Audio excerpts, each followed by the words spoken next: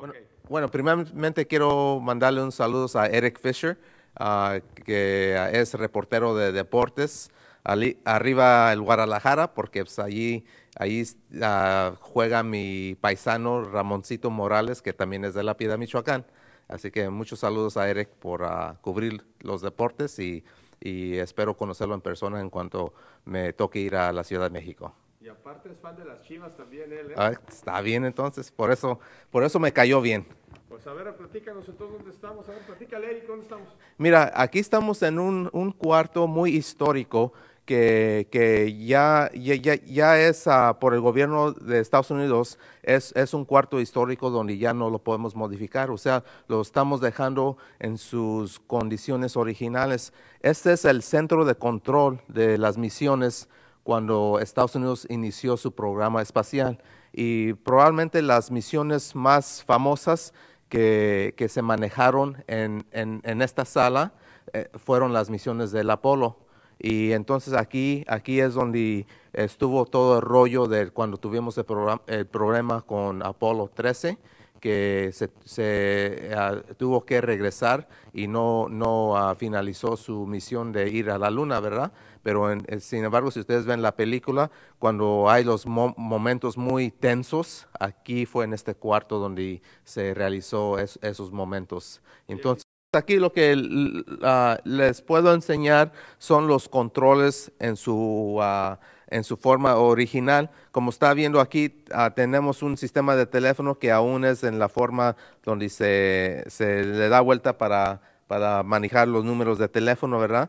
Entonces, uh, todos los sistemas de control que se alumbran, los sistemas que en ese tiempo apenas se estaban sacando los, los, los sistemas digital y luego los números que, que, que, están ahí, ¿verdad? Es algo, algo muy impresionante aquí que, que hay. Ahora, si ven acá arriba, lo que están viendo es cada misión que se realizaba en esta sala se, se, se ponía en una ceremonia uh, el parche oficial de la misión. Usted está viendo allá, por ejemplo, allá se ve el Apolo, el Apolo 2, el Apolo 7, el Apolo 6. Entonces, uh, cuando se realiza una misión, a llegar la tripulación, a, cuando regresan a la Tierra, ya vienen aquí y entonces hacen una ceremonia, una ceremonia muy bonita donde ponen todos los parches uh, de, de, su misión, ¿verdad?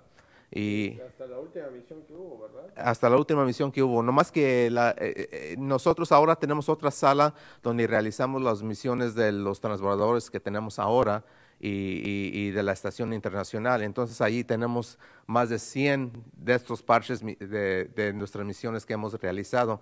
Y por supuesto, me va a tocar también a mí participar en esa ceremonia para la misión uh, del transbordador 128, que se nos va a realizar uh, en julio 30 de 2009, que su servidor aquí va a ser parte de, de la tripulación. Oye, una pregunta, José, estadio de la NASA, del Apolo 11 en este lugar, hace, hoy hace 39 años. Y este y también, este, ¿cómo se llama? A 50 años de la NASA. 50, me pasó lo mismo que le pasó a Daniel sí. Luna, se lo juro. no hay problema, no pasa nada. Este, ¿Cómo se llama? Me pasó este, eh, lo de 50 años de la NASA. Este, cuéntame una cosa, para la NASA en sí, esos 50 años que ha habido muchos cambios, ¿no? O sea, una NASA diferente, o sea, las computadoras de aquí, esto era state of the art y ahora es este, pues, reliquias, o sea, ¿Cómo ha cambiado la NASA, verdad? No, efectivamente, es algo, es algo muy bonito recordar de, de, lo que hemos logrado, por ejemplo, con el Apolo 11, de ir a la Luna, y luego también uh, que estamos cumpliendo 50 años de existencia de la NASA, que es algo, algo muy bonito también que, en tan poquito tiempo lo que hemos podido lograr, porque ahora tenemos una estación internacional que junto con 15 otros países la hemos construido y está en el espacio ahora. Y hemos tenido personas, astronautas allí presente continuamente por más de cinco años. Entonces es algo, algo muy, uh, uh, muy bonito, ¿verdad? Y entonces también lo que estamos enfocando ahora es en el futuro, porque ahora